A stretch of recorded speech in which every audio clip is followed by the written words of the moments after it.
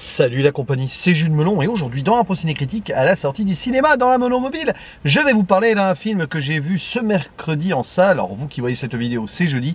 D'ailleurs, j'ai enchaîné avec un autre métrage derrière, mais je vais commencer chronologiquement par évoquer donc celui que j'ai vu en premier.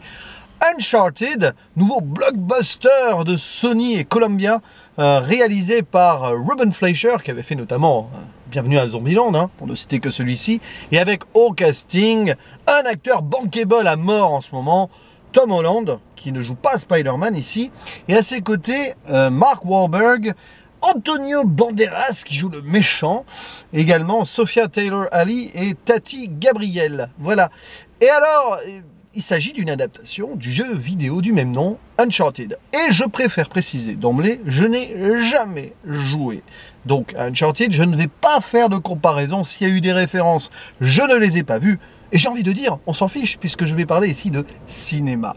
Alors, il s'agit d'un film d'action, d'aventure surtout, voilà, qui va nous présenter un personnage principal nommé euh, Nathan Drake, qui est jeune, donc, et qui va euh, s'associer à ce qui va devenir plus ou moins son mentor, Victor alias Sully, euh, pour euh, chercher un trésor, le trésor de Magellan, qui s'élèverait à 100 milliards de dollars en or. Voilà. Mais évidemment, bah, il va y avoir des méchants aussi qui veulent s'emparer de ce trésor. Et pourquoi Nathan Drake veut à tout prix on va dire, aller au bout de cette mission, mais c'est surtout pour son grand frère qui s'appelle Sam et qui a disparu. Voilà, on ne sait pas trop où il est. Et on voit donc dans un flashback 15 ans avant qu'ils étaient inséparables et que d'un seul coup, paf, pouf, il est parti faire euh, on ne sait trop quoi en mode aventure avant que justement Nathan prenne sa suite.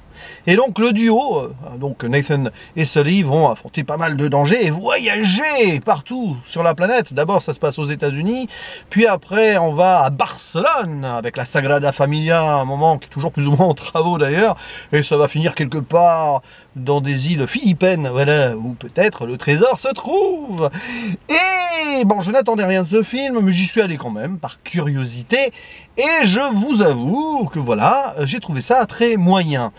Euh, évidemment, c'est du divertissement, j'allais pas non plus m'attendre à autre chose, mais même sur ce plan-là, je trouve qu'il s'agit d'un métrage assez paresseux, qui manque d'ambition et d'envergure, d'autant plus qu'il, à mon avis, s'enferme un petit peu dans certaines références.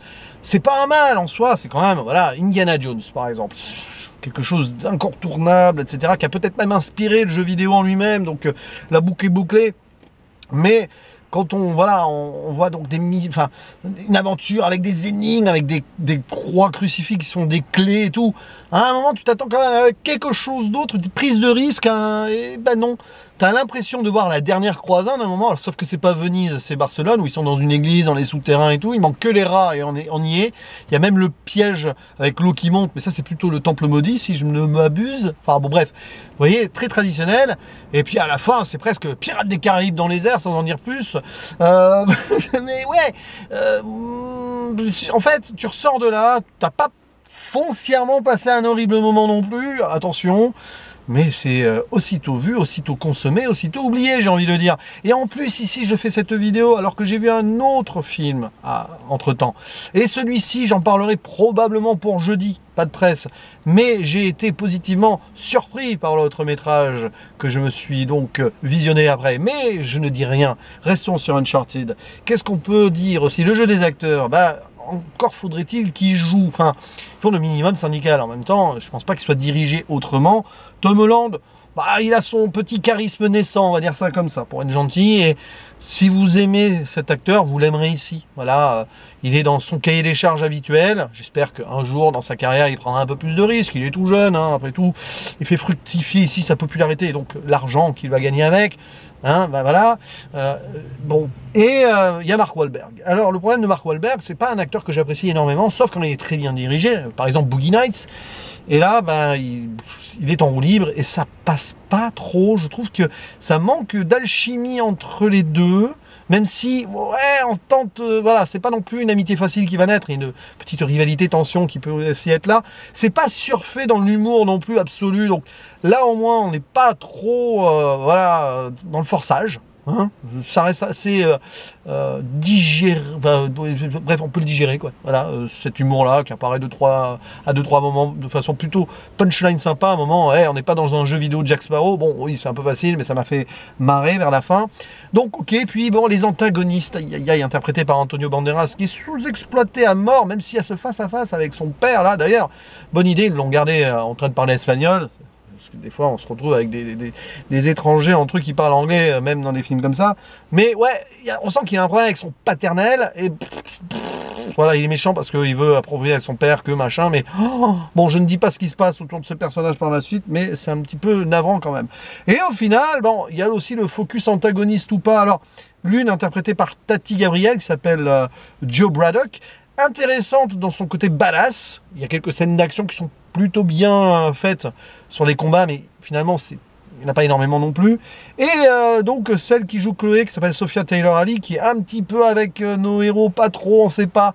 Mais là aussi, ça ne creuse pas spécialement grand-chose. Et au final, bah, sur le dernier acte, c'est un petit peu appauvri son apport. Disons cela comme ça. Donc, ouais, et puis euh, autre chose à dire quand même, les effets spéciaux. Aïe par moment quand même. Disons que le, film s'ouvre sur donc une scène qui, euh, qui installe la conclusion. Voilà. On les voit dans, on voit donc notre héros Nathan Drake dans les airs avec un convoi qui sort de l'avion il n'y a absolument rien de crédible là-dessus. Alors oui, c'est du cinéma, vous allez me dire, action, aventure et tout. Mais attention, ici, on n'a pas un super-héros comme personnage principal non plus. Et en fait, tu les vois là, dans les airs et tout, ils ont le temps de mourir mille fois, ils se rattrapent comme des trapézistes à 800 mètres euh, en vol plané, euh, en chute libre. C'est n'importe quoi Mais c'est pas grave, vous allez me dire, mais c'est quand même n'importe quoi. Et à un moment, voilà, il faut garder une certaine forme de cohérence dans un métrage où tu n'as pas forcément des gens avec euh, ou des pouvoirs ou des euh, gadgets qui vont aller faire euh, faire n'importe quoi hors de la réalité. Donc là, moi, ça, me perturbe un petit peu. Mais après, peut-être que ça a un rapport avec les le jeu vidéo en lui-même. Je ne sais pas. Vous pourrez le dire dans les commentaires d'ailleurs, si vous, fan de Uncharted, vous avez apprécié et si c'est ça colle à l'univers ou non. Bref. Et euh, qu'est-ce qu'on peut dire? La mise en scène, c'est pas qu'elle est inexistante, elle est factuelle. Voilà. Euh, Roman Fleischer parfois se fait un petit peu plaisir sur quelques petites scènes d'action, mais alors c'est très peu visible, comme il l'a fait dans Zombieland. Mais non, ici il est venu récupérer le chèque, hein, grosso modo. Je pense pas qu'il ait posé sa part, artistique au projet euh, à fond. mais bon, c'est ainsi. En même temps, c'est pas non plus le réalisateur du siècle, il faut l'avouer. Mais moi, j'aime bien le premier Zombieland, donc voilà. Je sais plus si c'est lui qui a fait la suite, il me semble que oui. Si c'est plus non, peut-être. En tout cas, la suite, j'avais pas aimé. Bref, sur ce Uncharted, j'ai à peu près tout dit. Je vais pas m'éterniser dessus. Je ne vais pas faire de spoiler non plus, trésor ou pas, fausse, fausse piste, est-ce qu'ils vont trouver tout, des énigmes à résoudre peut-être à travers des cartes postales, etc. Oui, mais c'est pas très prenant au final. Et l'ennui, euh, à certains moments, nous guette. Mais bon, voilà, je vais mettre un petit 5 sur 10 parce que je suis généreux. Il n'y a rien de dérangeant, il n'y a rien de terriblement affreux non plus. Mais c'est très, très moyen quand même. Hein. Même si j'attendais rien de ce film. Bref, n'hésitez pas à dire en commentaire ce que vous pensez de ce Uncharted, si vous l'avez vu, si vous comptez le voir, etc. Il ne me reste plus qu'à vous dire à la prochaine. Ciao